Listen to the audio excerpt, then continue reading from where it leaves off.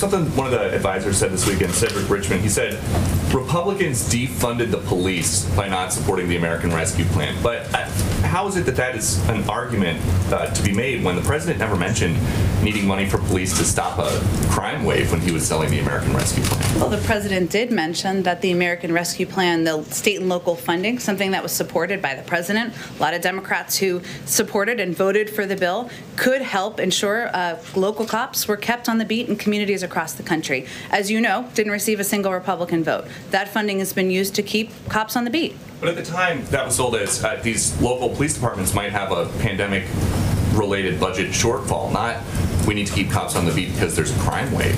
Uh, I think that any local uh, department would argue that keeping cops on the beat to keep communities safe when they had to, because of budget shortfalls, fire police is, is something that helped them address Yeah. crime in their local communities. the local communities, the White House's argument was the American Rescue Plan is going to be $1,400 checks. It's going to be vaccines, vaccinators. Uh, we're, it's going to put us on the path to beating the virus, not It did those things as well.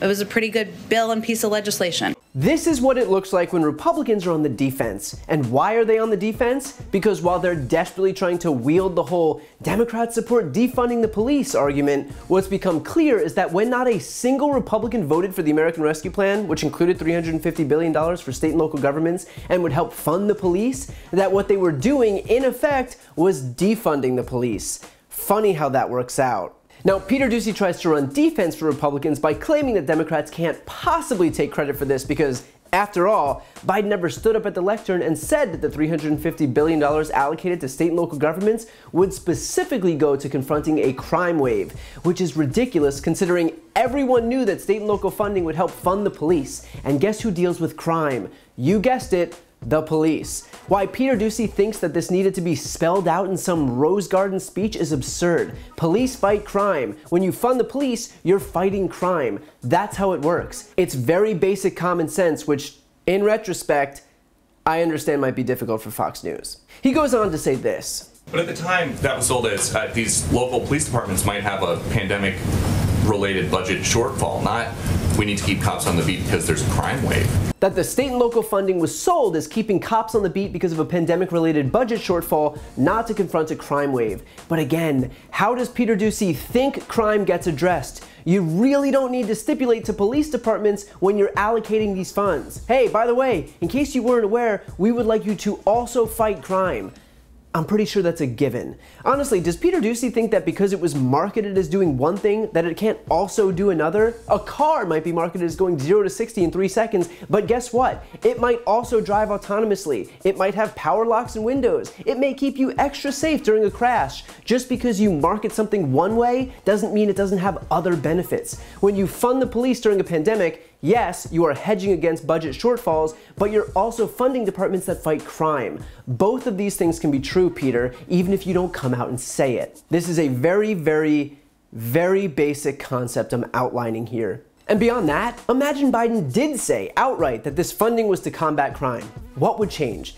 Would the amount be different? No. Would the bill be different? No. Would Republicans have voted for the American Rescue Plan? No. So what's the point of parsing words here when the fact remains that the Republicans didn't support it and wouldn't have supported it? The point is to try and spin Republicans' refusal to vote for the bill as not being a bad thing, but it is. And my favorite part of Doocy's questioning here is this. The White House's argument was the American Rescue Plan is going to be $1,400 checks. It's going to be vaccines, vaccinators. Uh, it's going to put us on the path to beating the virus. Doocy doubling down on this ridiculous claim that the White House's argument was that the real selling point of this bill was $1,400 checks and vaccine funding. I mean, yeah, it did those too. And yeah, those were the primary selling points of the American Rescue Plan. But the $350 billion in state and local funding wasn't a secret, it was still widely known and widely advertised. It was another major selling point in addition to stimulus checks and vaccine funding. The fact is that there was a lot in this bill, which Peter Doocy very generously, albeit inadvertently, pointed out. And Doocy's clarification here just offers one more opportunity to state the obvious. In addition to not funding the police, Republicans also didn't fund vaccines and they also didn't fund stimulus checks. Tell you what, of all the things I didn't expect to happen today, Peter Doocy pointing out every element of the wildly popular American Rescue Plan that the Republican Party didn't support wasn't one of them. And the simplicity of this fact is why Republicans are now falling over themselves to try and rewrite the narrative. Just today, Elise Stefanik, who replaced Liz Cheney as the number three Republican in the House, took to Twitter and wrote, Don't let the Dems and press stenographers get away with this garbage. Dems' mantra, defund the police, was one of their top policy and messaging points in 2020, including Biden, who said yes, yes about defunding the police. GOP has always supported increasing funding for police. Except they quite literally voted against it. See how easy it is when their rhetoric is the literal antithesis of their actions? That is why Republicans are panicking. And the bit about Biden, who she claims said yes, yes about defunding the police, yeah, Joe Biden literally wrote an op-ed in USA Today and said, quote, while I do not believe federal dollars should go to police departments violating people's rights or turning to violence as the first resort, I do not support defunding police. It doesn't get much clearer than that. And yet that didn't stop Elise Stefanik from misrepresenting the facts. But hey, being part of Republican leadership means that you have to get used to certain things like, you know, lying. So while Republicans are clearly launching a coordinated messaging campaign with right-wing media to pretend that Democrats hate police and love crime, their actions speak louder than words. And when it was the time to actually fund the departments they claim to support, the fact that not a single elected Republican in the entire federal government voted for it should tell you everything that you need to know.